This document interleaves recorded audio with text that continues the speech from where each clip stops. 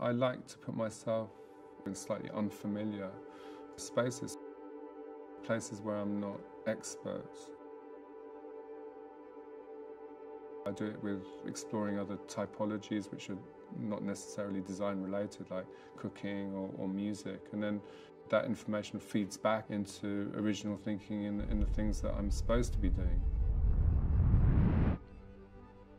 Chair's got to function as a chair and a lamp has got to illuminate a space. But when, when the objects are successful, they do more than just do their primitive and basic function. They actually have a more emotional impact on a room or a tangible change in, in the aesthetics of the space. Particularly in, in carpets, I think that there's an interesting role which is often forgotten, which is about deadening the sound as well as just the aesthetics of it. And you know, you, you can put carpet on many surfaces, it doesn't need to be on the floor.